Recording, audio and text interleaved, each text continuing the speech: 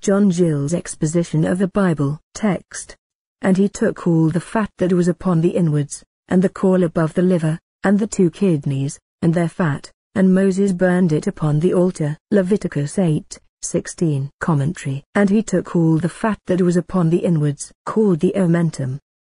and the caul, above, the liver, the lobe upon the liver, as the Septuagint, or the caul and the liver, so says Jarchi, the liver separately, for he took a little of the liver with it, the caul, and the two kidneys, and their fat, and Moses burned it upon the altar, the fat of these several parts, which has been often observed was done, and in imitation of which, the same has been done by the Persians and their magi, as related by Strabo and others, and by the Romans, to which Boethius refers, and these several parts are generally covered with fat in fat creatures, and especially sheep, as Aristotle observes,